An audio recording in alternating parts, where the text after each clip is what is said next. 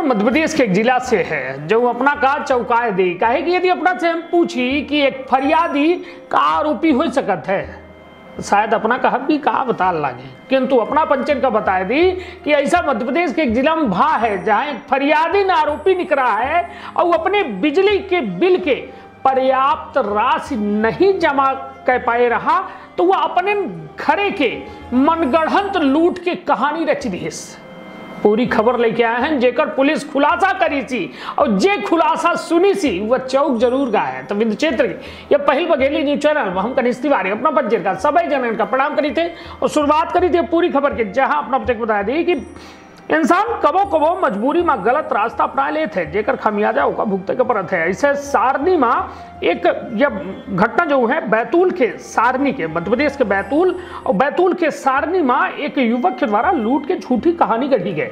Sarni TI Ratnakar Hingwe के द्वारा बतावा गया कि 25 मई 2022 का फरियादी राजेश पिता रतनलाल खातरकर के द्वारा बिजली के बिल के पेमेंट एसबीआई में जमा करे खातिर जाँच समय दो अज्ञात व्यक्तियों द्वारा नगदी इक्यासी हज़ार दो सौ पैंसठ रुपया लूट लीन गए युवक की रिपोर्ट पर धारा तीन सौ बानवे भारतीय दंड विधान के तहत अपराध कायम कई के विवेचना में लीन गया मामला के खुलासा खातिर विशेष टीम गठित की गए टीम द्वारा फरियादी से बारीकी से पूछताछ की गए घटनास्थल के रिवीजन करावागा मौका पर रुपयों के फेंकी थैली मिली।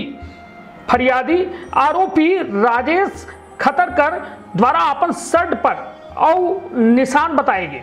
ओकर अवलोकन कीनगा। उक्त सभी भौतिक साक्ष्यन के समक्ष रख के फरियादी खतरकर से बारीकी से पूछताछ किन गए।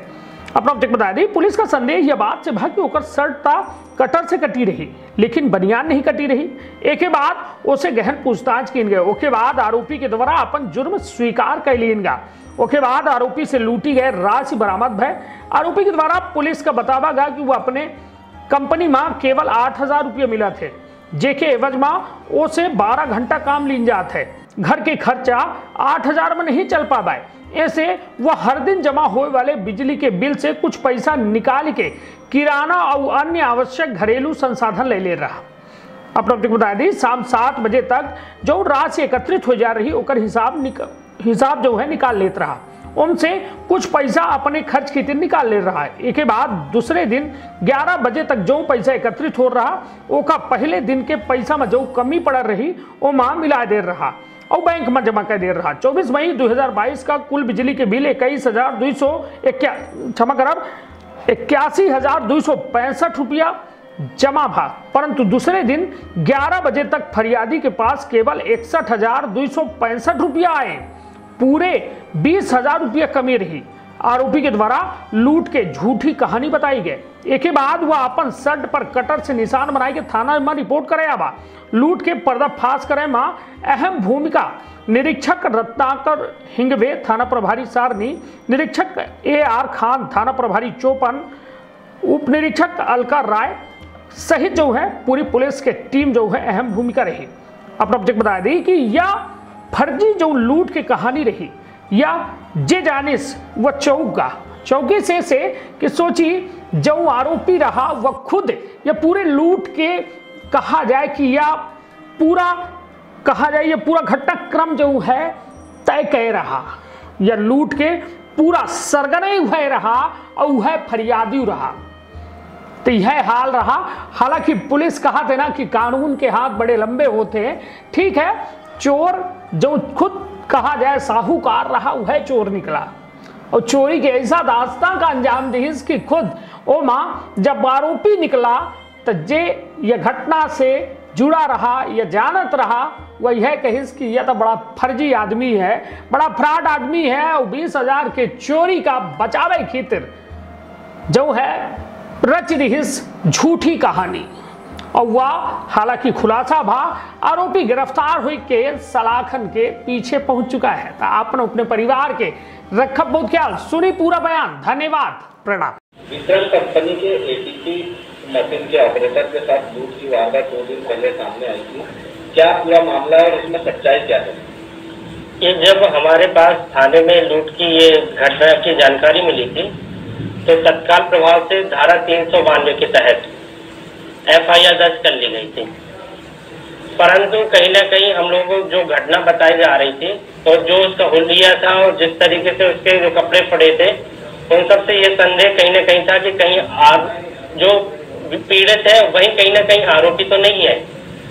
तो धारा तीन सौ बानवे के तहत एफआईआर करने के पश्चात विवेचना के दौरान उस पॉइंट को देख, उस एंगल के तहत विवेचना की जा रही थी।